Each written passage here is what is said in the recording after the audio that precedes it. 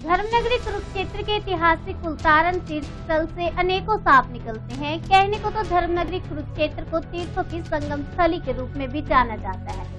कुरुक्षेत्र में महाभारत कालीन अनेकों तीर्थ स्थल हैं। उन्हीं में से एक कुरुक्षेत्र के गाँव किरमत में कुलतारन तीर्थ। गाँव किरमत के निवासियों की शिकायत है कि कुलतारन तीर्थ और इसका तालाब प्रशासन तथा कुरुक्षेत्र विकास बोर्ड की अपेक्षा के चलते अब गंदगी का अंबार बन चुका है।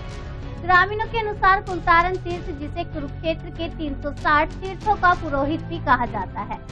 यहाँ फैली गंदगी के कारण सांपों तथा जहरीले जीव जंतु ने डेरा बना लिया है। कुलतारन तीर्थ के तालाब में अनेकों सांपों को घूमते हुए देखा जा सकता है। ग्रामीणों ने बताया कि तालाब में साफ़ पानी भरने के ट्यूबवेल तक का कनेक्शन कट हो चुका है। अब तो यहाँ पर्यटकों और तीर्थयात्रियों ने आना भी बंद कर दिया है। पहले प्राचीन तीर्थ है जी, यहाँ कुलतान तीर्थ के नाम से जाना जाता है जी महाभारत के टाइम में इस मतलब यहाँ पर पर्यटक आते थे। अब भी पर्यटक आते थे, आज से दो चार साल पहले मतलब। अभी यहाँ ना तो कोई पर्यटक आता है और ना ही यहाँ पर जो इनकम थी दुकानदारों की, वो भी नहीं रही जी। क्योंकि पर्यटक नहीं आ रहे ना इसलिए। कारण ये गंदगी। पहले यहाँ से मतलब इसमें कुल तान तीर्थ में नहाने से बीमारियाँ करती थी, अब बीमारियाँ लग जाती हैं। अब तो ये संपों अगर हो रहा है जी। देखभाल नहीं है देखभाल नहीं है इसकी जी और इसका जो एक ट्यूबवेल था इसको पानी देने के लिए इसका कनेक्शन काट दिया गया है। जिस चीज़ के तालाब में नहाने से अनेकों बीमारियाँ दूर होती थी अब उसी तालाब में गंदगी होने के कारण ही बीमारियाँ फैलती हैं। अब तो गाँव किरमच के ग्रामीणों को भय है कि सांपों ने तालाब में डेरा बना रखा है। लोगों को चिंता होती है कि कहीं सांप तालाब से निकलकर उनके घरों में न घुस जाए। पर्यटकों और तीर्थयात्रियों के न आने से ग्रामीणों की दुकानदारी तक बंद हो चुकी है।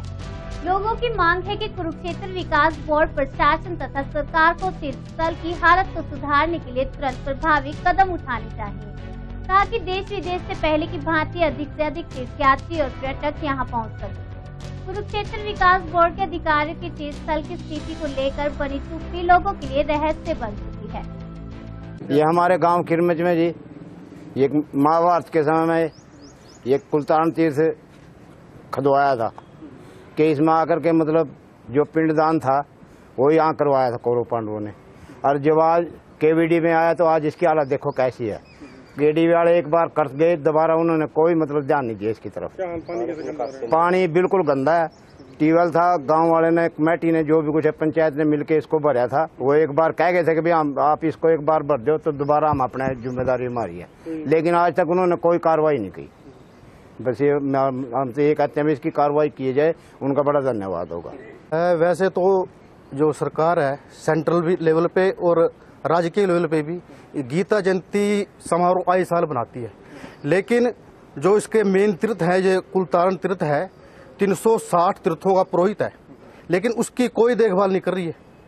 और मेरी तो यही अपील है कि जो महाभारत काल में जो पांडु पक्ष और कौरव पक्ष मरे थे तो उनकी जो श्रद्धांजलि थी, वो युधिष्ठिर के ने यही यही उनके पिंड भरवाए थे।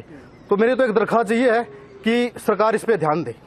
जी, ये महाभारत के टाइम का तीर्थ है और बहुत पवित्र तीर्थ है, कुलतारण तीर्थ। इस पे पांडवों ने पिंडदान किए थे यहाँ पर आके और बहुत पवित्र हमारा, हमारे गाँव का ये पवित्र स्थान है, कुलतारण तीर्थ और महाभारत के टाइम का तीर्थ है। महाभारत के टाइम का तीर्थ है और ये यहाँ पर पांडु ने पिंडदान किया था, जो बहुत पवित्र तीर्थ है। इसमें गाँव वासी सब यहाँ पर यहाँ पर मेला भी भरता है, जिसमें कुलतारण तीर्थ के नाम से बड़े लेवल पे गेम किए जाते हैं, कबड्डियाँ होती हैं स्थायी अठाईस साल से हम गेम कराते आ रहे हैं। लेकिन जब से के डी में आया है और साफ़ सफ़ाई का बिल्कुल ध्यान नहीं है, गाँव वाले मिलकर साफ़ सफ़ाई करते हैं, ग्राम पंचायत साफ़ सफ़ाई करती रहती है। दो बार उनको छिट्टी पत्र लिखा, अपना ग्रेजुलेशन पाके भी दिया। और जो यहाँ पर पानी की निकासी के लिए जो ट्यूबवेल लगा था सफ़ाई करने के लिए, उसका भी कनेक्शन काट दिया गया है और के को भी उसका एक लेटर भेज दिया है। लेकिन यहाँ पर ना कनेक्शन किया जा रहा है, ना कोई पानी की निकासी है प्रधान है। अब क्या ये हमने अपनी पंचायत की मीटिंग की थी और उसमें यही डिसीज़न किया कि जो भी पंचायत की तरफ़ से बनता है इसकी साफ़ सफ़ाई करेंगे। जब तक के नहीं ध्यान देती है तो गाँव ने कर इसकी सफ़ाई करनी होगी टूरिस्ट आते हैं स्नान योग्य नहीं है तीर्थ हाँ बाहर से टूरिस्ट आते हैं यहाँ नहाने के लिए कोई वो नहीं है बदबू आती है वो हमारे गाँव की बड़ी बेजती होती है इसमें हाँ देख के ऐसे चले जाते हैं। कीड़े